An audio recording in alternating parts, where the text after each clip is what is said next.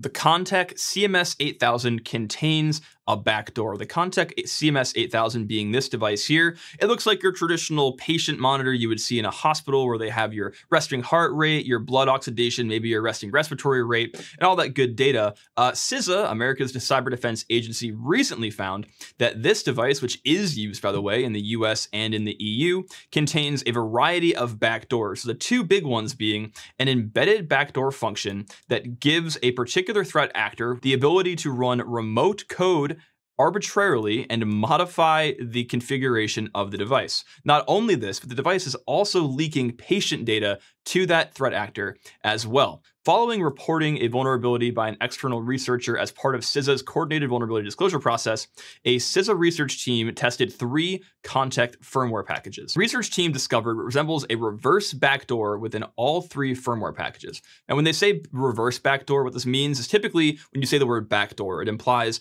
a way to get into a device. Think of your, your house, right? If you have a backdoor or somewhere that someone can sneak in, they have to know where the backdoor is. They have to come to you.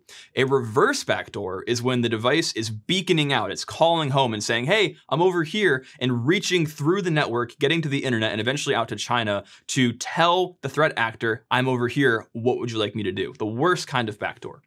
A reverse backdoor within all three firmware packages. The reverse backdoor provides automated connectivity to a hard-coded IP address from the Contec CMS 8000 devices, allowing the device to download and execute unverified remote files. Now, typically when you have an embedded device like this, like this is a router, for example, right? It's just a broken down router. You'd use this to plug into your internet. You'd have your ISP plug into here and you'd have internet access. It's very common for these devices to call home and ask for firmware updates. There's nothing weird about that. It does start to get a little more code smelly, a little more what the hell is going on when you start talking about hard coded IP addresses. And if you dig deeper, publicly available records show that the IP address is not associated with a medical device manufacturer or a medical facility, but a third party university.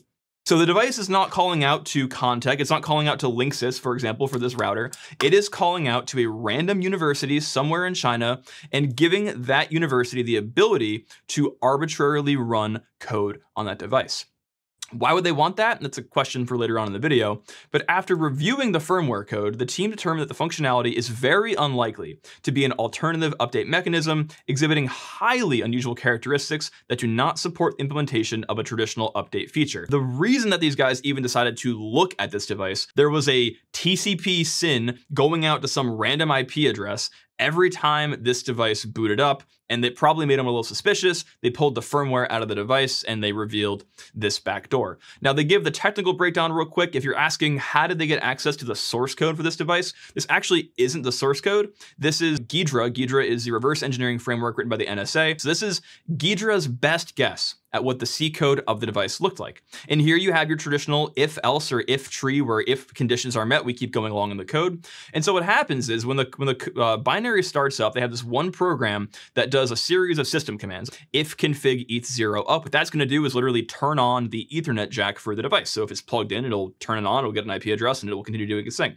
The next one is where it gets a little, little hairy. Um, mount no lock TNFS blacked out IP address to mount. What's happening here is it is mounting the mount directory to some hard-coded IP address slash PM with a network file share. So basically, this is where the device is calling out to a hard-coded IP address and opening a folder. Now, opening a folder, not a super huge issue, right? We're not super worried about that. But what it does further is where it gets a little hairy. We access mount monitor, so it's checking to see, is this folder set up in a way that we have the files in the right order, that we it's in the good state. And then what they do is they copy all of the files off of that drive into opt bin and then overwrite the start binary with the start monitor binary from the file share. What this is doing is completely overwriting the firmware of the device with the firmware provided by this university. It is not uncommon for embedded devices to beacon home and to download new software. Right? Again, any device you have that has a firmware package will likely do this at some interval.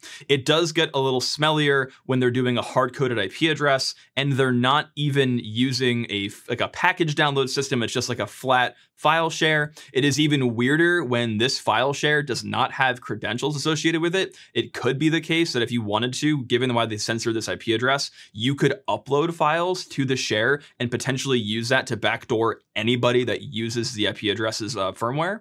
And then also, it just it's even weirder, like the most weird, obviously, that this device is being updated not by Contec or whatever it is, uh, you know, Contec the the manufacturer, but by some random IP address in China associated with the university. But what's even more concerning is the patient data spillage. When the CMS 8000 completes its startup routine, it will automatically beacon to the same IP address that is hard-coded. Once a connection is established, the patient information is then transmitted via port 515 to the IP address. And I'll zoom in here. You can see you have the name of the physician, the patient number, the hospital department that they're in, the patient admit, uh, admit date, the date they got into the hospital, and the patient's name and their date of birth. Basically, an entire dossier of why they're in the hospital. You can detect that from the hospital department, the date they were admitted, their name, and how old they are is all being transmitted over plain text to this university. And the mitigations obviously are to, first of all, disconnect your patient monitors from the internet. They have functionality like Wi-Fi or cellular, turn those off if you don't need them. Now, you may want, want to know like, why do you need this in the first place? It is very common for hospitals to have IP enabled everything so that the nurses in the center of the ward, for example, wherever you're at, like the birthing ward or like whatever, um, they can monitor everybody. And so they don't have to have somebody in the room at all times. If for some reason, God forbid, the vitals of the patient was to go to zero, they would have some centralized monitoring that would allow them to freak out and then go into the room and take care of it.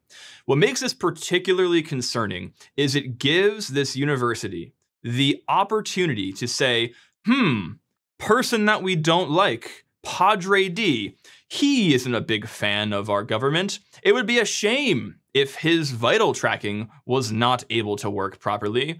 Wouldn't it be a shame if we just pushed a bad firmware update to this device such that if Mr. Padre's, you know, uh, resting heart rate or pulse oximeter went to like 60% if we just didn't tell anybody about it?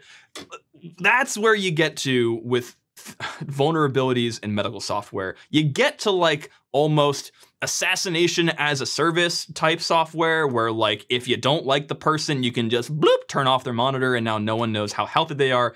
Not a great place to be. Now, if you're in the case where maybe you work for a hospital or maybe you uh, you deal with these devices, first of all, stop, get new ones. Um, also, be aware that not only is it a Contec CMS 8000, but the FDA warns that a company that sells it, um, a company resells it as an Epsimed MN120. So any of these are on the hook. Look, man, if it's happening in this device, I would not be shocked if other devices from similar manufacturers from similar countries are doing the same thing, okay? And again, it's one thing to have like a beacon out, get me code because I'm the manufacturer. It's another thing to have a, hi, I'm a weird IP address. Um, also, now we know exactly who is on this particular monitor. Feels a little weird. Anyway, guys, that's it for now. Thanks for watching. I appreciate it. If you like this kind of stuff, do me a favor, hit that subscribe button. trying to hit a million subs. We're going to get there. And we'll see you in the next video where I talk about a similar set of backdoors. We'll see you there.